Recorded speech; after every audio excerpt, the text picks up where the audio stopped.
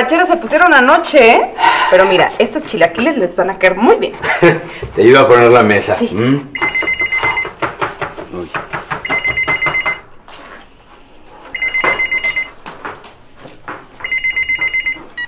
Bueno, Simón, buenos días. ¿Cómo estás? bien, gracias. Oye, ¿por qué no vienes a desayunar aquí al hotel y después seguimos trabajando? ¿Está bien? Me doy un baño y ya te veo. ¿m? Ya me perdí los chilaquiles. Voy a tener que ir a desayunar con Serena. ¿m? ¿Sí? ¿Quién te viera? No es lo que estás pensando. Ajá. Lo que quiero es ya terminar de una vez por todas con esto. ¿m? Me voy a bañar.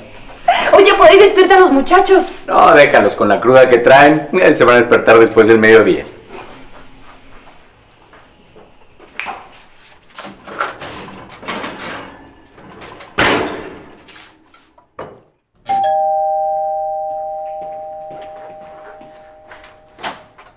Buenos días. Les traje chilaquiles para desayunar. Pues qué rico. Eh, Sebastián sigue dormido, pero yo no me los pierdo. ¿Desayunas conmigo? Bueno, pues si tú insistes. Pasa. Oye, ¿y cómo ves lo de Sebastián? Ay, ¿qué te digo? Lo siento por él, pero se la ganó a pulso. Permíteme. Sí.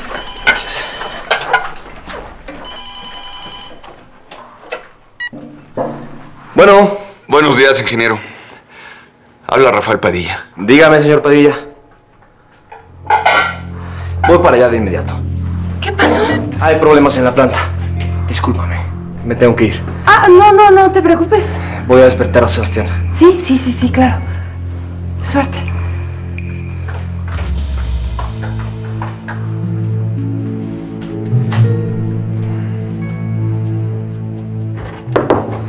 Sebastián. Sebastián, despierta. Levántate, hay problemas en la planta.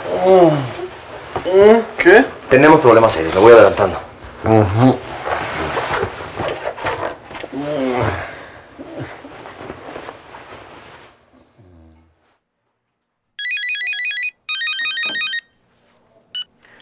Bueno, Oye, Natalia es una muchacha alta, delgada, con cabello largo. ¿sí? ¿Por? La acabo de ver documentarse en el vuelo que sale a la Ciudad de México. Ay, perfecto. Ya se va. ¿Sebastián iba con ella? No. Ay, gracias por el dato. Bueno, tengo que colgar. No, espérate, espérate. Hazme un último favor. Llama a la planta de Conatrol y le dices a la secretaria.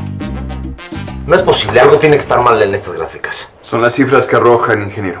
La revisé día a día. Señor Padilla, incautamos dos válvulas clandestinas y recuperamos una cantidad considerable de gasolina. ¿Cómo es posible que la pérdida de gasolina sea mayor que el mes pasado? A mí también me extraña. Pero los números no mienten, ingeniero. ¿Usted sabe lo que esto significa? Nos van a cerrar la planta. Con estos volúmenes de gasolina faltantes, los sensores tendrían que haber reportado algo. No entiendo qué sucede, ingeniero. A usted le consta que estuvimos realizando pruebas a los sensores. Y aparentemente todo estaba en orden. Debe haber una explicación. Vamos a revisar las cifras de nuevo. Tráigase los reportes diarios. Sí, voy por ellos. Ahora regreso.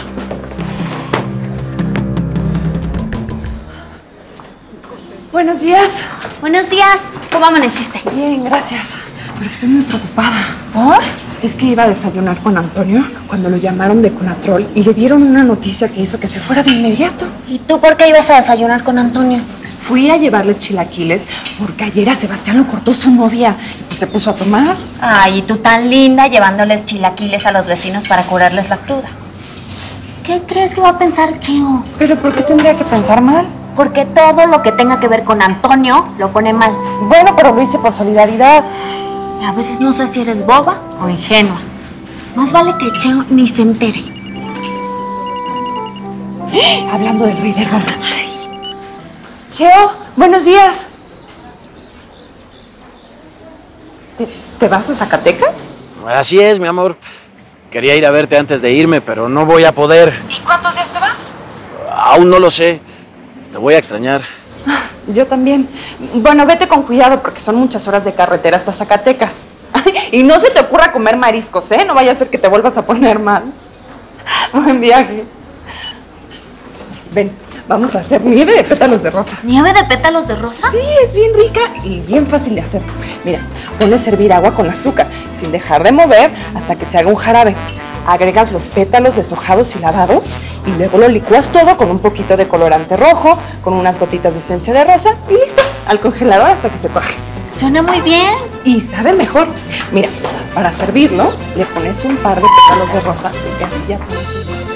Buenos días, ingeniero. Ah, qué bien que ya recuperó su color, oiga. No sabe lo que me costó quitarme la pintura, Marina.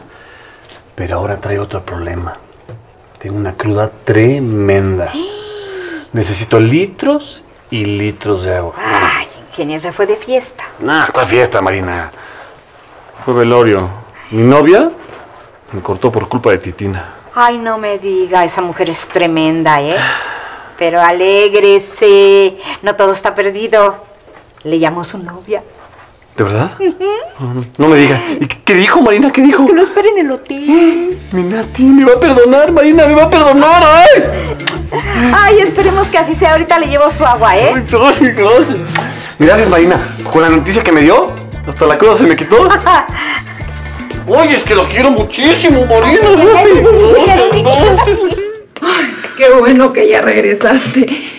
No sabes cómo te extrañé. Yo también.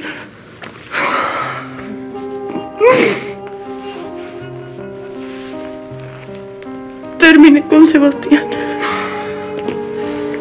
¿Qué quieres que te diga? No podías hacer otra cosa. Es un desgraciado. Lo que te hizo no tiene nombre. Pero la peor es ella.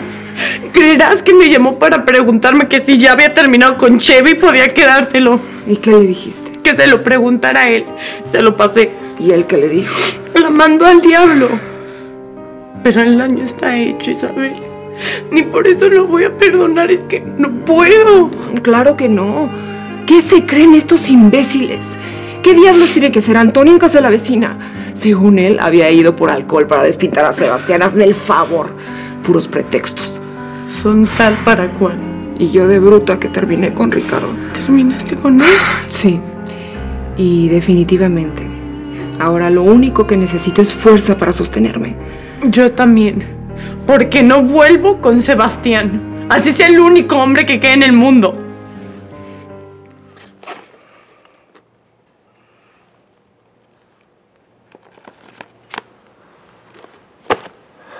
Muy bien, Pedro. Hacer negocios contigo es un placer. Si logro sostener el equilibrio entre el saqueo en el ducto y la entrega de válvulas, en poco tiempo me voy a hinchar de dinero. Cuando tenga lo suficiente, me voy a largar muy lejos de aquí.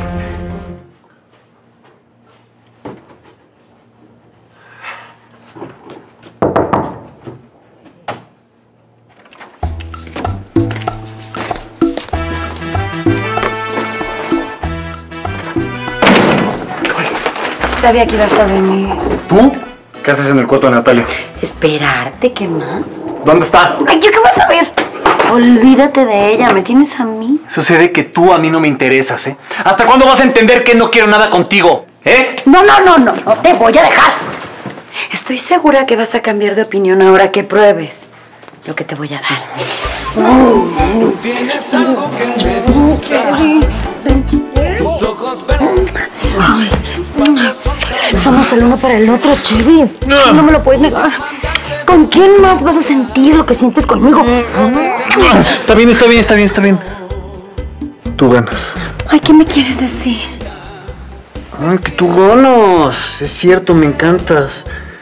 Es por demás quererme resistir. Ay, Chevy, mi amor. Oye, Ay, mande. vamos a bañarnos juntos. Voy a poner el agua mientras me desvisto. sí, mi amor. Tus deseos son órdenes.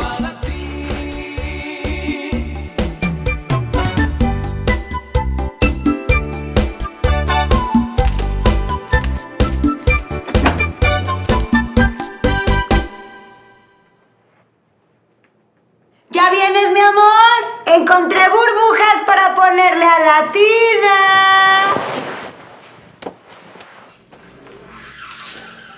A ver si después de esto te quedan ganas de seguir acosándome.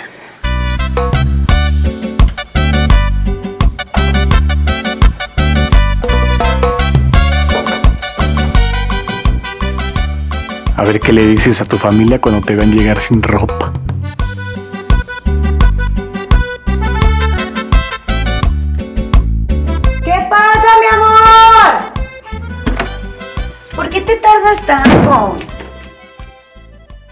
¿Chevy? Se fue el desgraciado. ¿Mi ropa? ¡Ay, Dios! ¡Se la llevó el estúpido! ¡Uy! Esta me la pagas, infeliz. ¡Me la pagas!